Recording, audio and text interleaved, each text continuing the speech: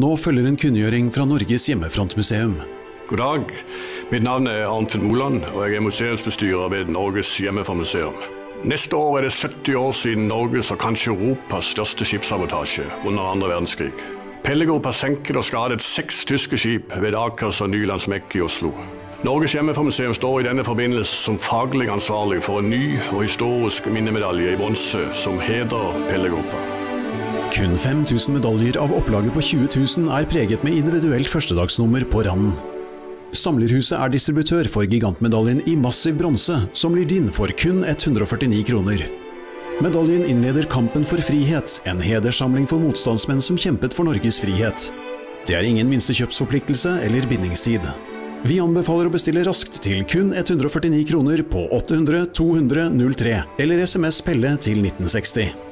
Våre krigshelter fortjener all den ære de kan få.